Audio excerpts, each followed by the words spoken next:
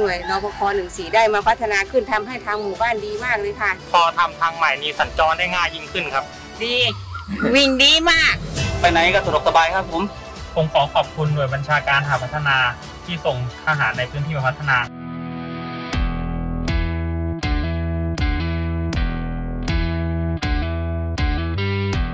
เพราะทหารคือที่พึ่งของประชาชนอย่างแท้จริง ไปจะพาทุกคนมารู้จักกับผู้บังคับหน่วยพัฒนาการเคลื่อนที่ 14 ที่พร้อมดูแลประชาชนตลอด 24 ชั่วโมงค่ะ สวัสดีครับ ผมพันเอกอนุวัฒน์หลือวิไลผู้กำกับหน่วยพัฒนาการเคลื่อนที่ 14สำนักงานพัฒนาภาคหนึ่งหน่วยบัญชาการฐานพัฒนาครับ หลักๆเนี่ยจะมีเขาเรียกว่าเป็นงานทาง ก็คือในการซ่อมซ่อมถนนลูกรังให้เป็นถนนลาดยางนะครับหรือถนนคอนกรีตนอกจากนั้นก็จะมีงานขุดลอกคูคลอง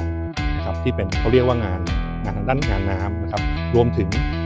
ระบบผลิตน้ำประปาครับแล้วก็อาคารบริการน้ำดื่มนครับชุดบริการน้ำดื่มต่างๆครับที่อยู่ในสถานพัฒนาเด็กเล็กนะครับโรงเรียนหรือวัดต่างๆครับที่ร้องขอซึ่งส่วนใหญ่อยู่ในพื้นที่ที่ค่อนข้างห่างไกลความเป็นเร็วครับในส่วนของ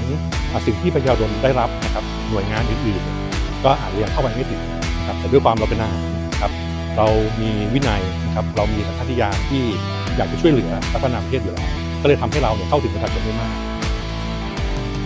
ชาการพัฒนาครับก็คือนักรบสีน้ำเงินนะครับเราก็เป็นทหารนะครับที่รับผิดชอบในเรื่องของการพัฒนาประเทศนะครับสิ่งต่างๆนะครับที่เป็นความเดือดร้อนของประชาชนรัษฎรในทุกพื้นที่ เราเองเนี่ยมีความพร้อมนะครับตลอดเวลานะครับไม่ใช่เฉพาะในวันราชการหรือเวลาราชการแต่ไม่ได้เป็นวันหยุดกับข้ามกลางคืนนะครับเราพร้อมที่จะไปช่วยเหลือ เราพร้อมที่จะออกไปตลอดเวลา ก็หวังว่าหน่วย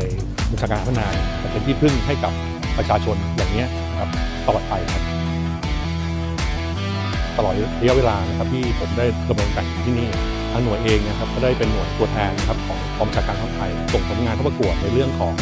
การนำปรัชญาเศรษฐกิจพอเพียงมาใช้ในหน่วยงานทหารซึ่งได้รับรางวัลชนะเลิศนะครับในการแข่งขัน